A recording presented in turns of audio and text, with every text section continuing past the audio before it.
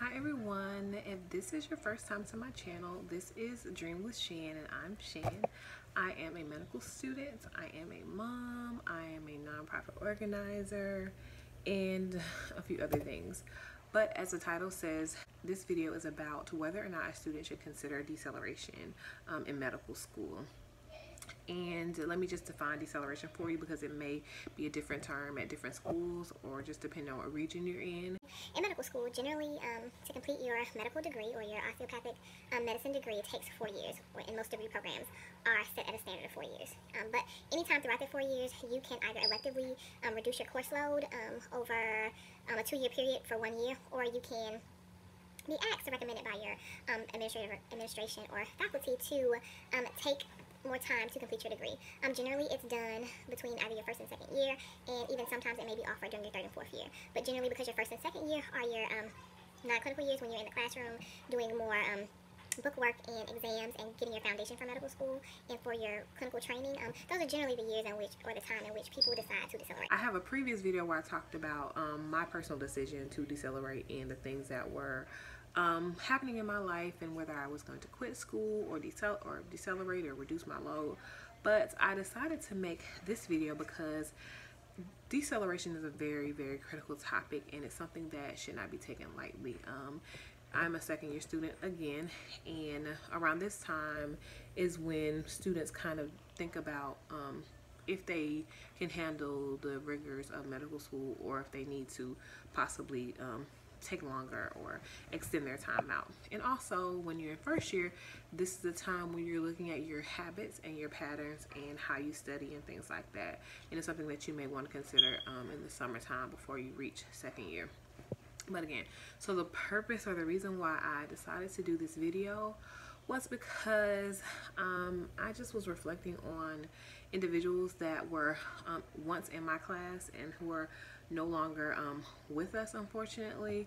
It was like one day I just was like hey you know just thinking I haven't seen so and so in so long you know what happened to them or where did they go or are they in rotations and this that and the other. And then I eventually found out that they were dismissed from school. And fortunately my thought process when I went into medical school and what a lot of people actually told me was the fact that oh it's so hard to get into medical school. You know that's the hurdle it's the MCAT it's the admissions it's the thousands of people applying and they're only accepting you know a certain amount of people. But once you're in you know you're in and you know they make sure they keep you but that's honestly not the real truth about the situation. Um, once you get in medical school that is like one of the hardest things that you've ever had to do is to get in probably. But it's also hard to stay in school if you have other factors that are competing in your life. And unfortunately for some schools if you don't meet their criteria no matter how much they loved you and liked you on your during the interview trail or during the admissions process they will not hesitate to let you go and that's the real fact about it. So you really have to make educated and smart decisions as you're going through medical school to ensure that you get there you um, get the grades you need or maintain the grades you need and you get your degree and you get out of there and become a doctor because that four to five or whatever your period that you're in that degree program is really significant. And if you do something wrong or if something happens that school will let you go because it's just like a job you know jobs fire people all the time um, it happens unfortunately but it's a part of life and unfortunately people get dismissed from medical school all the time people quit medical school all the time um, those are things that not everybody really talks about no one really talks about having to repeat a year because it's taboo no one talks about having to fail step because it's taboo, but it happens. No one talks about not matching, but it happens, and these are real life scenarios that um, I want to be able to tackle and talk about with students um, just to give you the other side of things. Um, I am uh, in a new mindset of just being really positive and really open and encouraging and I want to use this video to encourage individuals to be your number one supporter and to make sure that you are advocating for yourself. And I want to use this video to use this video as a tool to help people. And first thing I'll say is when you are considering deceleration or taking time off of school or you know extending your um, degree out into five years, first thing you need to do is know yourself. Um, know what you're capable of know the limits that you're able to take because of course we can always stretch ourselves but what is that healthy limit that you can stretch yourself and that you're willing to stretch yourself without sacrificing so much of who you are? Um, when i was going through the process of deciding whether or not to take time off um, or to decelerate or whatever my options were i decided to reach out to people who were going through similar situations or who had already done what i was seeking or thinking about doing and that was so key because I got different perspectives. I spoke to a guy who was doing really horrible all of second year, but he and he was recommended to decelerate by administration. He said, "I'm not going to." Um, I'm not going to decelerate. I'm going to push through. I'm going to pray. He was a very spiritual guy, and he ended up, you know, going through the year and in, eventually passing his classes. He passed um, his step one board exams and he went on to third year clinical rotations. And I was like, wow, that's really, you know, admirable of you and really great. And I'm glad that you actually stuck to your plan and you were able to, you know, make it through second year without actually decelerating and proving them wrong in a sense. Um, but I also spoke to a young lady who said that deceleration was never in her mind. You know, she had done well first year, second she was doing okay, but she somehow slipped through the cracks. And when she did some self-reflection, she thought about her time just in college and how she never really did a full course load. It was never something that she was comfortable or capable of doing in a sense that, you know, how some students will take um, 18 credits or 22 credits or whatever their max can be at their school, she always took 12 to 14 because that's what she was comfortable with. And she would do that during the school year, and then during the summer, she would um, take classes to make sure that she had met her course load for that entire year. Um, and she did that every year, and that's how she was successful. And she said that when she thought about deceleration and taking the full course load of second year, she really thought, well, hey, if this is what I'd done in the past and I was successful, why does it seem so daunting now for me to think about taking an extended year? Um, and she said it was the best decision she had ever made in her life. And so, you know, I got varying opinions and varying um, varying information from different people depending on who I talked to. But at the end of the day, um, they all were able to give me some type of insight on how they were self-reflective of themselves and how they really had to know themselves to know, you know, what they were capable of and what they could do. Um, so I really did appreciate that. Another thing that I would suggest is every school has a student handbook with their policies and procedures in it. I say go through that, find the section on either leave of absence or on deceleration or taking extended um, degree routes and understand what, what your school's policies are and how it relates to what you want to do. Because that's the first step to knowing if it's something that's feasible for you. Because while you may think that taking um, the decelerated route may be best for you, you may really need to take um, a leave of absence because there could be things that are going on in your personal life, um, things that you're battling just, you know, in general that taking two years to do the degree program is really not going to help because you're still not taking yourself out of that environment and making sure that you are healthy.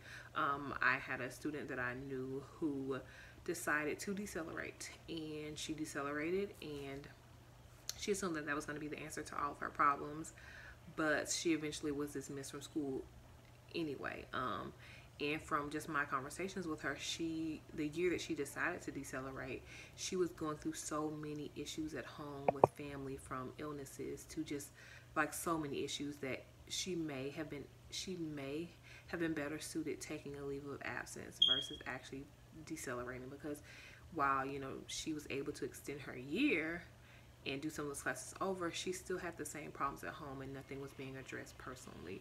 So um while deceleration is an option, there are many other options. And again, that's where your student handbook comes in so that you can see what really works for you. Um, and my thing was this year when I, after, you know, I kind of had like the little thought of like, where are all these people? Like I was looking for like four or five people that, you know, I hadn't seen in a while. And a few of them I end up finding out, okay, oh, you know, wow, they're here on this rotation. And the others I end up finding out that they got dismissed. And I was like, oh my God, the school actually dismisses people and I'm like, duh, yeah, it happens. And it just, but you don't think it's really going to happen to somebody that you know because, you know, your school says, oh, they're so tight knit or they're the family environment, this, that, and the other. But at the end of the day, scores matter, grades matter, and every school wants to be attractive to future applicants. They don't want a student um, who has to take so many, who they believe is going to be a liability and has to take so many attempts to either pass their boards um, because that messes up their first pass, right? There, that messes up the statistics that they're able to show to future applicants. And this is like real life information. Like a lot of schools are not going to tell you this, a lot of students are not going to say this, but this is real life stuff. So definitely know who you are and know your school um, when you decide to make that decision. So in general, you just really have to know what you're capable of doing, um, both physically, mentally, and you know, health-wise. Because in a lot of situations, we like to tell ourselves, you know, push through, push through, because that's what they that's what most people will tell you that's what you want to do that's what you hope you can do. But in reality you have to know yourself and you have to know your limits. Like in the situation i mentioned for the young lady that decelerated but still was dismissed from school i'm sure she said she wanted to push through and you know make it to her next year and to you know eventually get out of school. But you have to do what's best for you. You have to know your limits. And one thing I'll say is like, because I came from a working environment before I came to school, the job and medical school are not the same. Um, in medical school, you're expected to come to school and or come to clinic, you know, rain, sleet, or shine. You know, you are expected to be there. Um, if you have a death in the family, you know, I'm sorry to say this, but some schools will tell you they still expect you to be there. However, with a job, you have a death, you have, you know, some situation, you get bereavement time. You get a few days off to, you know, compose yourself, you know, feel how you want to feel, cry, grunt, scream, what have you. But in medical school, you do not have that. And I mean, it makes us stronger in some senses, but it also can hinder us in other ways. Um, medical school is by no means the most horrible place to be in the world. It is a great place for you to learn. It's a great place for you to gather the skills you need to be an effective and awesome physician. But you also have to know that there are sacrifices that you will make. You have to be willing to make those sacrifices. And in times when you're not willing to make those sacrifices, you have to know what um, what your limits are and what you what you will and what you won't do. Um, what I will say is there is a caveat to decelerating. Um, and this is what I've heard from both fourth year students and administrators, my dean at my school. She indicated that there are some programs that will automatically filter you out when you're applying for residency if they see that you have had more than four years of educational time for that degree. Um, I think it may be slightly different um, if you're in an MD, PhD, or MD MBA program because they have that information of that second degree that you were obtaining while you're in school. But um, other than that, you will be automatically filtered out. And again, that is something that you have to consider when decelerating. But think about it like this when you're trying to say, oh, well, wow, I don't want a school to filter me out because I did an extra year. I mean, if your grades are poor and your test scores are poor and you fail um, an exam and I don't mean just a regular exam, but if you fail step, step one or step two, or if you, you know, have discrepancies on your transcript, they're going to screen you out anyway. So, I mean, you just have to weigh the pros and cons. Do you rather be screened out um, for poor grades, and that's going to be most likely more schools screening you out for that and because of failures on board exams, or do you want to be screened out by select few schools that won't accept you because you took an extra year? Um, you can always explain that extra year in your application, and there's other ways to kind of get around it, but there's certain, again, certain schools that will automatically screen you out. So again, these are things that you can consider. Um, for me, like I said, I love to just um, talk to people who have been in my situation and I continue to make sure that I reach out to individuals who are fourth years and who are practicing physicians and residents and things like that who have made it beyond the point that I'm trying to be and who have been in my shoes. Literally my shoes is in they decelerated. Um, the thing about life is it is always changing and it's never you, life is never going to be stagnant you know life is always going to be moving and you have to be able to adjust there are things that are going to happen to you in your life that you don't expect for one did I expect that I was not going to go to medical school straight out of college? No. Did I expect that I was going to eventually get into medical school, then have to decelerate? No. Things happen, but I'm in a position right now where I feel good about where I am.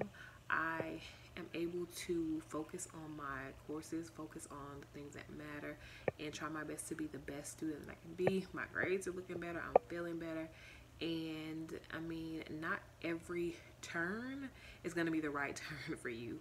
Some turns that you make will go left, but it's okay because you will eventually get back on track. And what I try to reiterate to myself and to people that I talk to, everybody's path is different.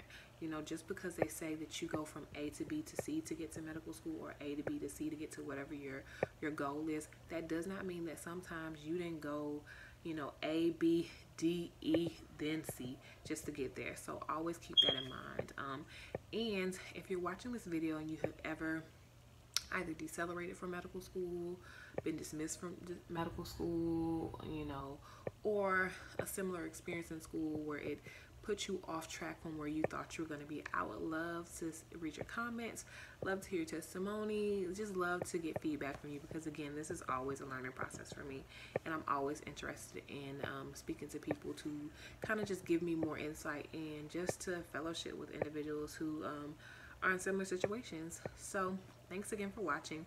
Again, this video is meant to be very informative. Um, it is for first and second years mainly because those are the critical periods in which they may decide that they want to decelerate.